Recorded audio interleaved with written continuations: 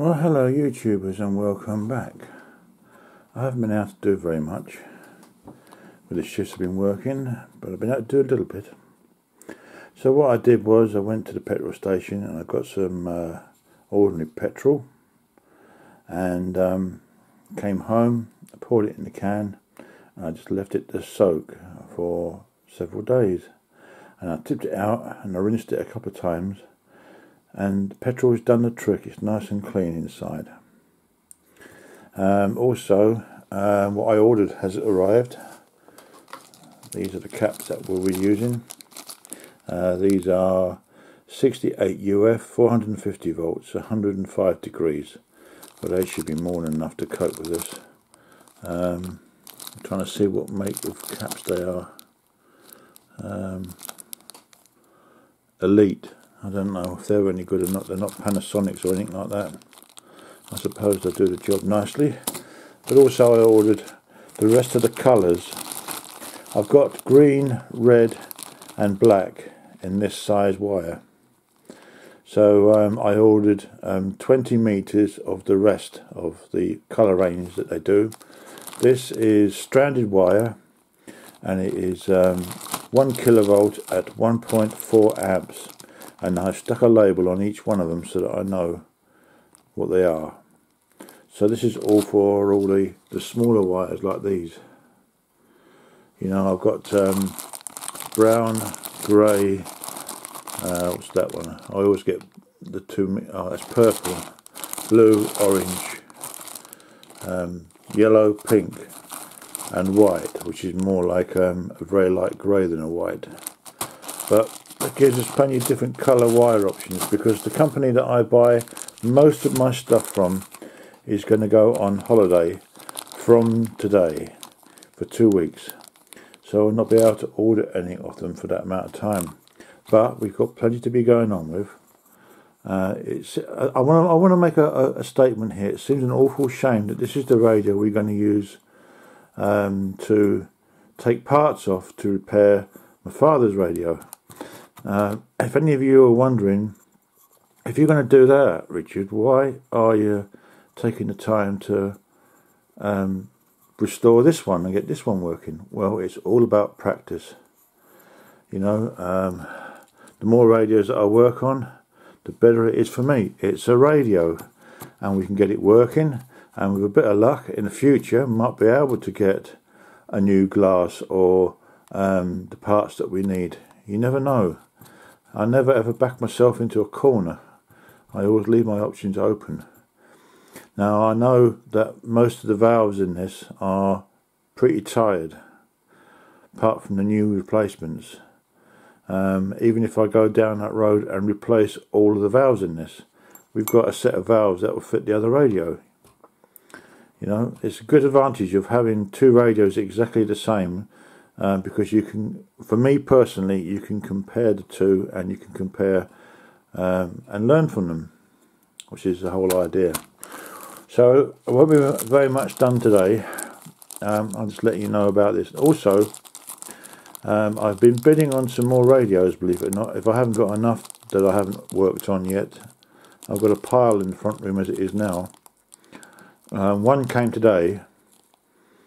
Um, it's another Bakelite case job. This one's uh, got a broken case too, but this was this was purchased knowing that it had a broken case, and it's arrived obviously with the same problem. It's not been delivered like that. I've got a long weekend off coming up soon, so that's when I'm hoping to be able to um, do quite a lot to this. And also, I want to clear my bench off and set up the isolation transformer and then decide on what I want to do. See how we go, right? See how we go. I'll shoot the rest later. This has been shot on the 14th of the 6th, 2017. See you later. Hello there. This is um, just a, a little look. I was planning for what I'm going to do the next time I come to the table with the um, soldering iron. I thought let's have a look to see how these uh, new caps are going to fit inside our can. well, I don't think it takes too much imagination to work out that even if I was to put the two caps back to back, there is no way they're going to fit inside that, is it? they're a bit big. We wanted um, two 50 UF at 350 volts and the nearest capacitor I could get was 68 UF at 450 volts. Well, these are more than capable enough of replacing this. But the plan to get these inside there, uh-oh, it ain't going to happen. So, we went for all that for nothing. Well, at least we know what's inside these tin cans. I suppose we learnt something there. And we also we learnt um, what we can use to remove the, uh, the black tar. But, so, it looks like we're going to end up gluing this back together with nothing inside it and connecting these up on a terminal block underneath which is what Doug said in the first place. That's what he said he normally did. He doesn't normally restuff caps. I just wanted to do it so that I could say I've done it. But as you can see they ain't gonna fit So um, either we are going to have to come up with a different caps, or I'm going to have to use these. And um, well, I think you can see where this is leading, can't you? Shame, isn't it? All that effort for nothing. Never mind. I suppose we learnt a little bit. We know that they won't go in that tin can, so if we replace them on the other radio, we'll know that we need a terminal strip underneath.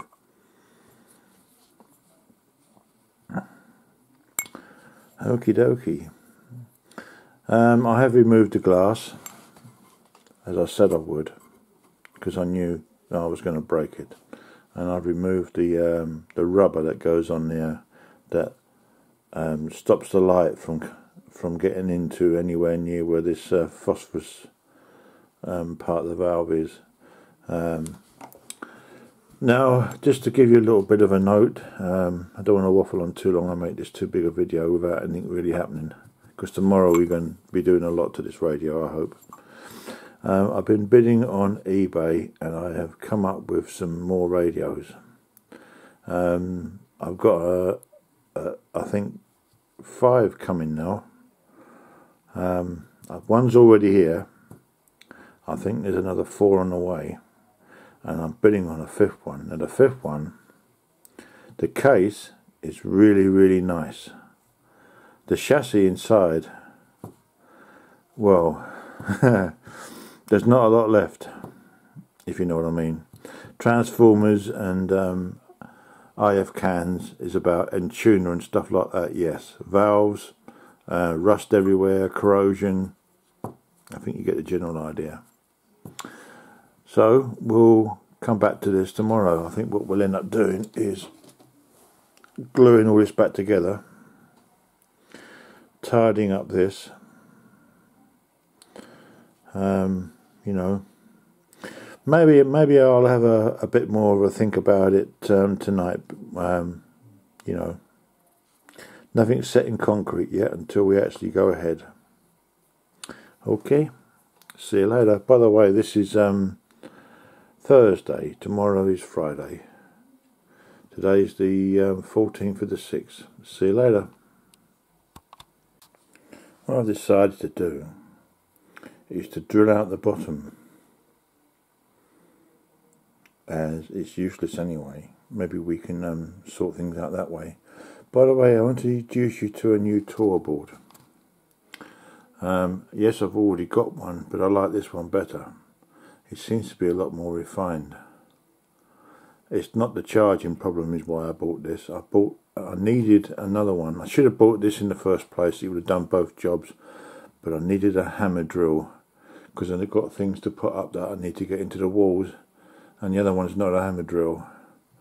And um, that's why I bought this to get the hammer action. I should have bought this in the first place and I would have only had to buy one tool instead of now I've got two the same. So that's the plan. Um, I'll just um, put the bigger drill bit in to drill the biggest hole that you see there. And now I'm using these to chew up the Formica insulator that's in the bottom. So all we'll end up with is a steel ring with a hole in it. That's the plan. Right, what we did was you put a, a sanding um, attachment on the end of the Ryobi, not the Dremel. I've got better control over the speed on this. Much better control. Not knocking the Dremel, mind. Is worth its weight in gold. Never ever do that. Anyway, what I've done is I've now hollowed out the centre. So the plan is, is the first plan is, remember we're making this up as we go along. Remember these will all be properly insulated and stuff. So that one goes in there. Um, then the next question is, will that one fit through there maybe? Something like that. With the wires attaching it together and fix it in with some um, with some epoxy maybe something like that maybe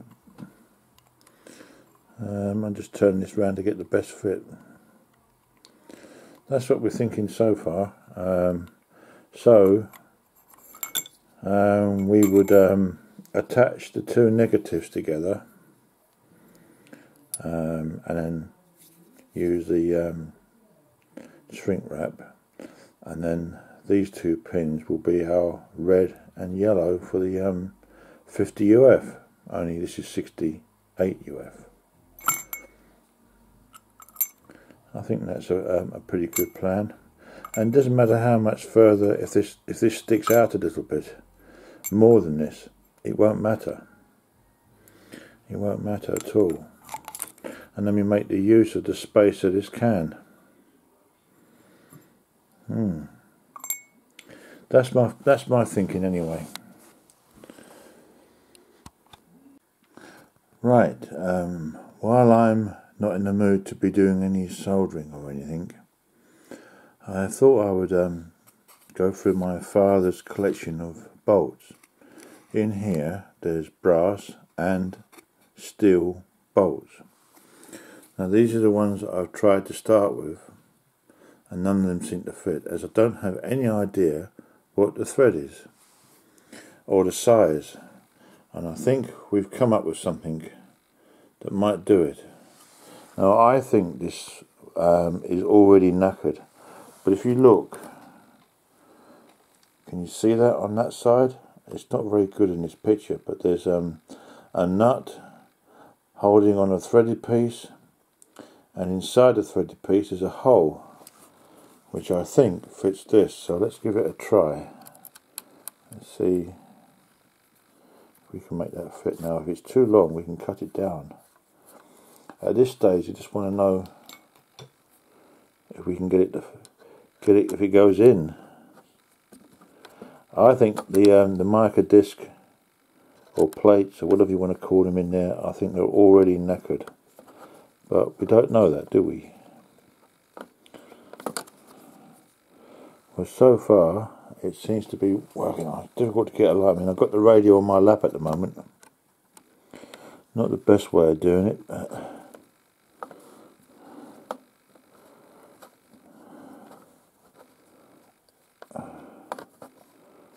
Right, well, it seems to be working. It's doing up, which is better than what we had. I think we'll try that. Can you see that? That's closed up. It's not done up tight yet. So we can have a go at tweaking that when we get power on next time. But that's certainly looking promising. But like I say, I think we're going to have to try and source another one of these. And uh, next thing is what I've decided to do is I'm going to put these caps back to back like this and then see how I bent them wires over I'm going to connect them up down the sides and then put heat shrink tubing on. I think that will fit together much better like that. Run the wires down, attach the two negatives together, tidy up the wires, and then attach our negative wire to the chassis. And then we've got our um, two red and yellow positives um, for our caps. The only thing is, obviously, one end is going to be sticking out a little bit, but I think it will work. Oops, I'm not looking at it. Sorry, I've just realised the camera's looking down at something else. So that's what we'll end up doing, sticking it together like that.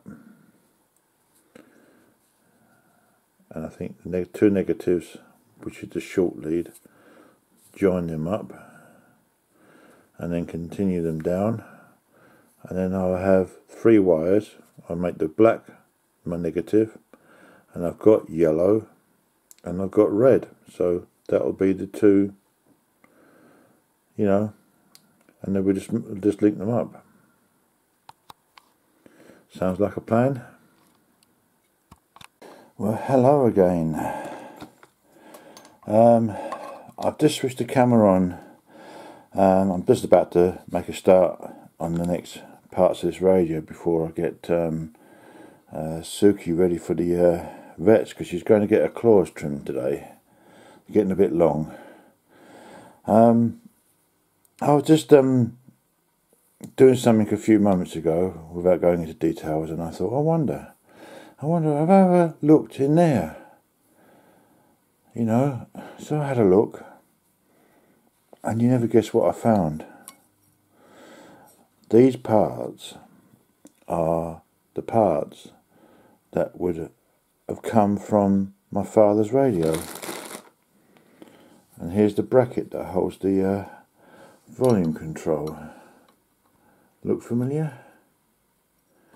No screws, of course. Um, one foot, so we're a foot short. So um, you know, maybe that might turn up, I don't know. Volume controls and tone and controls or whatever it is. No, tune, tuning and volume, that's it, that's what those two are.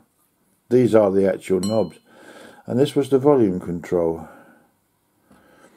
Of course, there's nothing on it to say what value it is. But we don't need to worry about that, do we? We've got a schematic somewhere.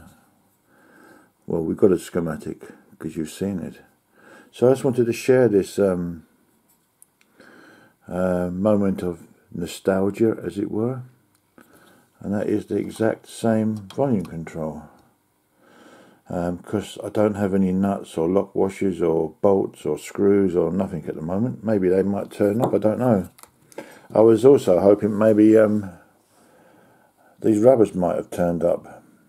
You know, might have been in the same place and I suppose wishful thinking.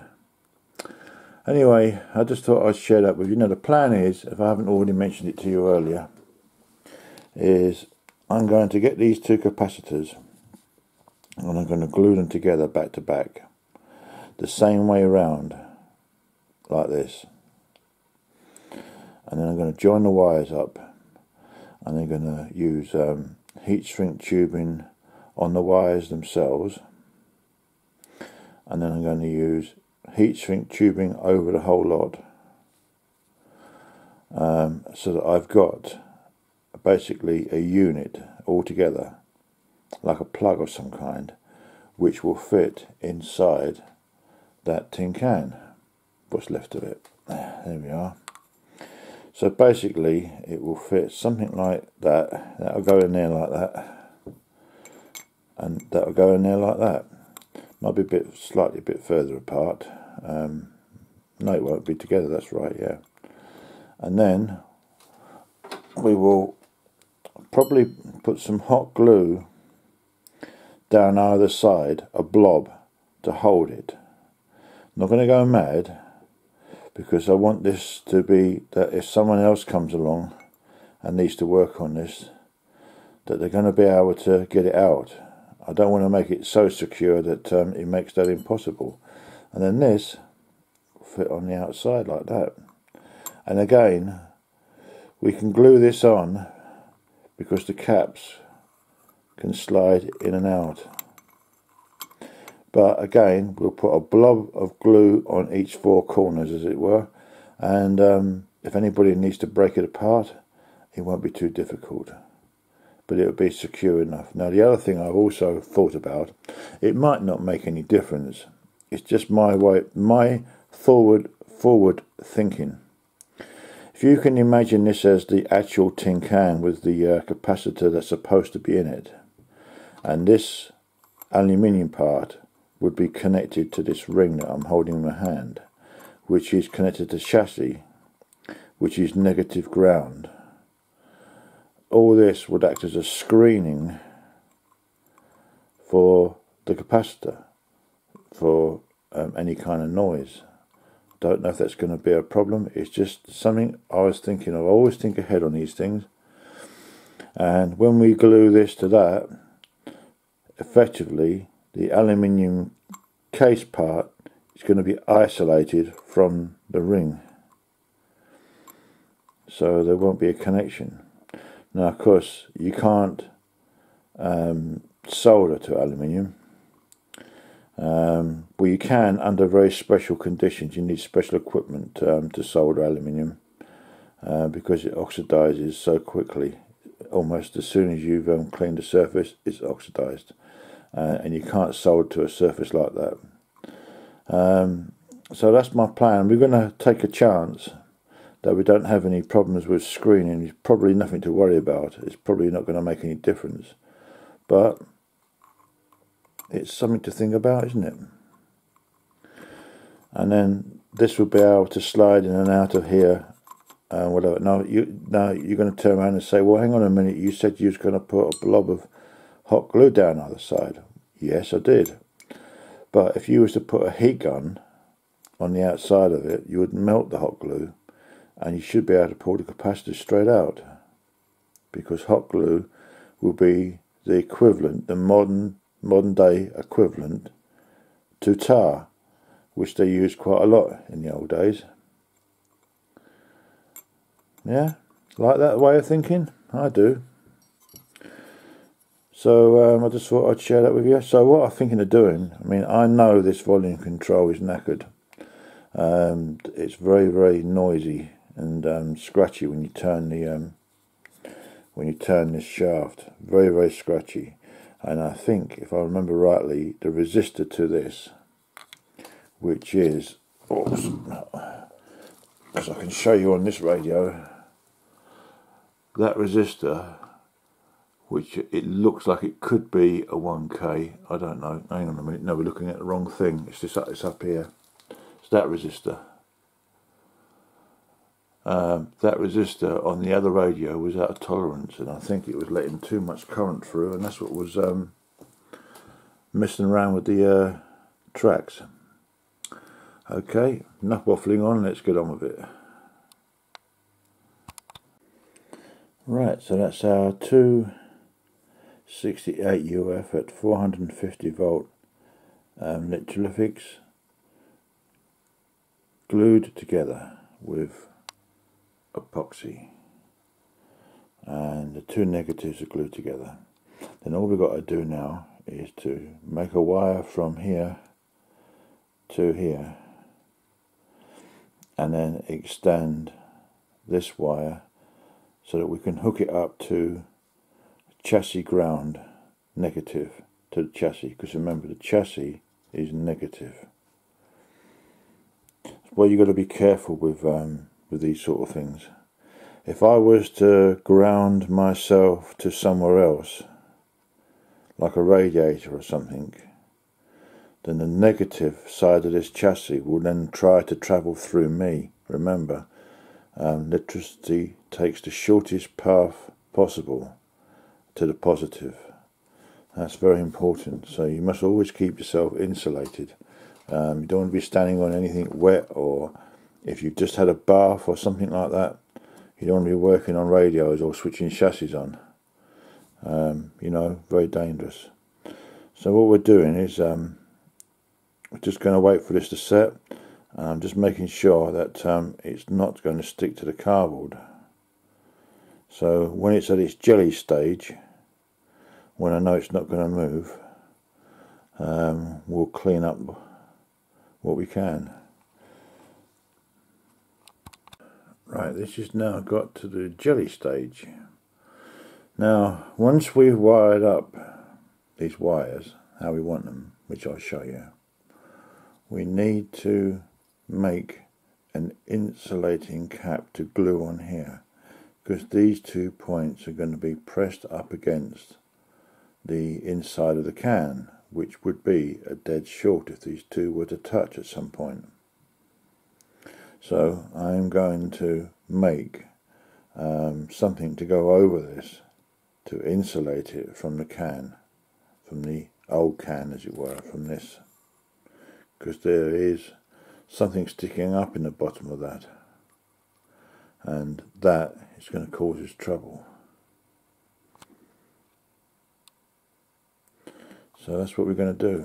I'm going to, whoops, I'm going to glue something on there, because at the end of the day, we don't want anything to short there. Okay? Yes, a plan, isn't it?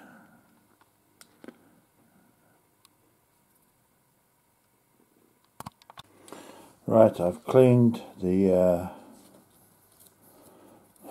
I cleaned the wrong one. Good job I checked. I was actually cleaning the positive. Alright, so what we'll do is we'll get our alcohol, rubbing alcohol. do this again. I've already cleaned the brush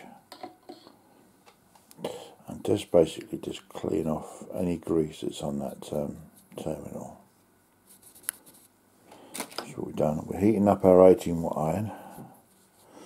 Um, you're going to need a little bit of flux on there. I obviously can't do this while I'm um, at the moment.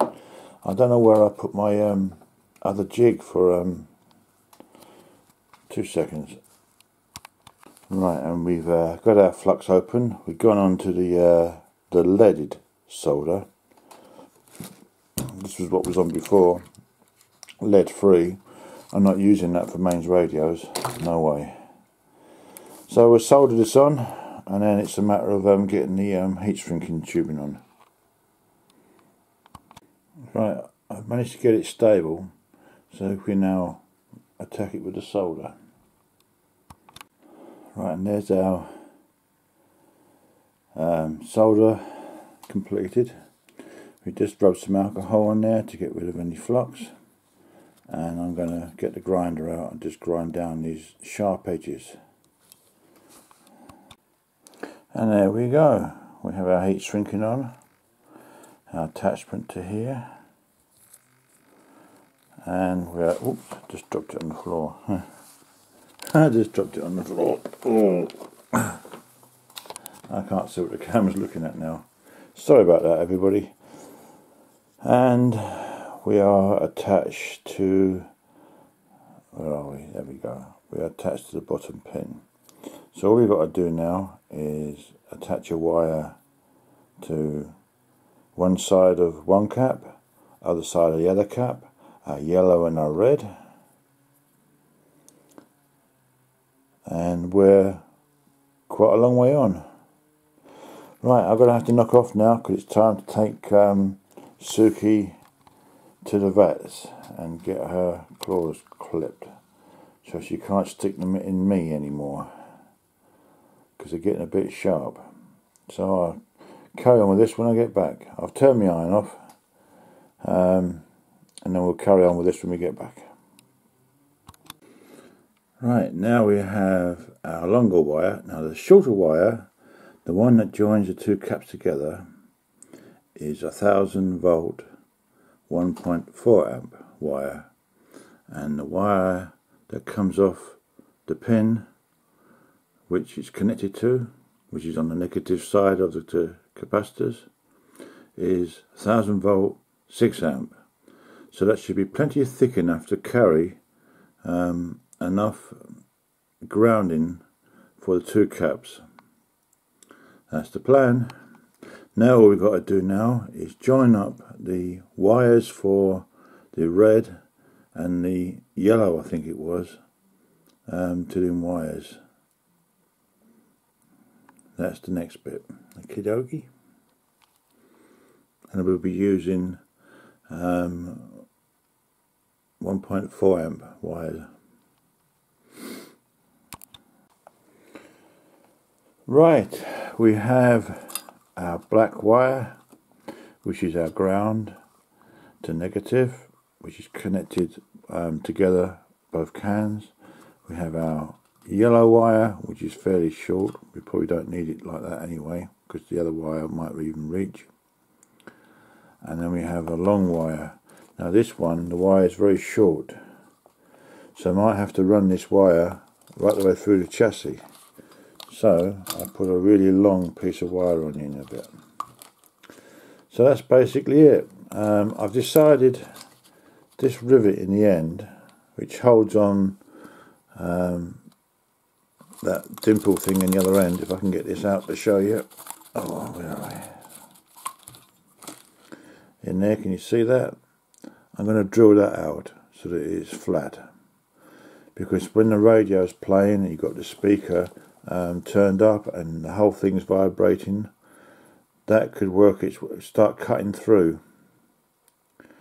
So I'm going to drill that out so there'll just be a tiny little hole in the top. A small price to pay really isn't it? I put a small hole in first and then a bigger drill and so on until we get the get it drilled out. Then I think that's done then. All we've got to do is wire this in. I'm going to put a little bit of hot glue. I'm not going to go mad. I don't like using hot glue on old mains radios. But it's our modern equivalent of tar, which we can't get access to. It's just a whole disc capacitor in the middle, a blob either side or something. It's all you need. You know, it's not going to go absolutely balmy with this. So that's, I mean, this is the hardest part of the capacitors, is this tin can. It's the hardest one to do because, because obviously you've got to work things as you go along. And there's a little bit that's come out.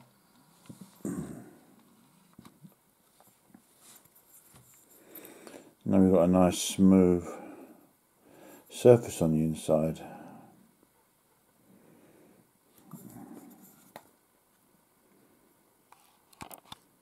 Right, we have uh, a little bit of hot glue on the bottom of this to act as um, insulation,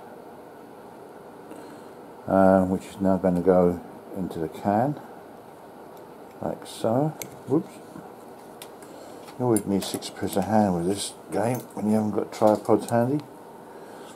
And then the idea is we're going to, it's just enough to hold it, that's all it is. We're not going to go mad here.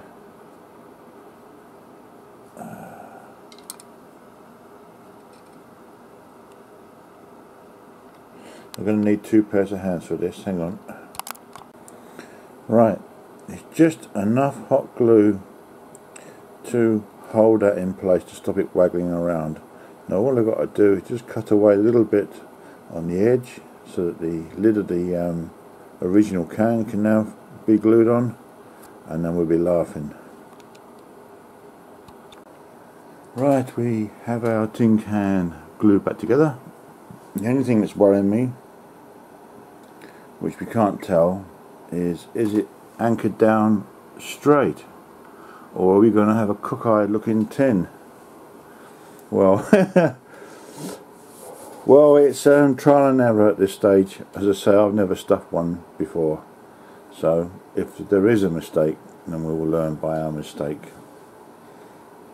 But um, we're just doing our best here. So we'll wait for this to harden um, I've turned the um, hot snot gun, as it's called, off, and um, hopefully this will be suitable for what we want. Um, if we need to get it apart, well, let's hope we don't need to get it apart. Otherwise, we'll be reverting to Plan B. Okay, um, that seems to be a good start. Should be able to get all that back in nicely. Right, I'm going to post this and um, next time we'll be installing this um, into the chassis and replacing those two paper caps and then we'll be having a closer look at the schematic. Catch you later. Thanks for watching. Thank you very much and um, please subscribe, um, leave a comment, whatever. And uh, wish you all the best. Take care.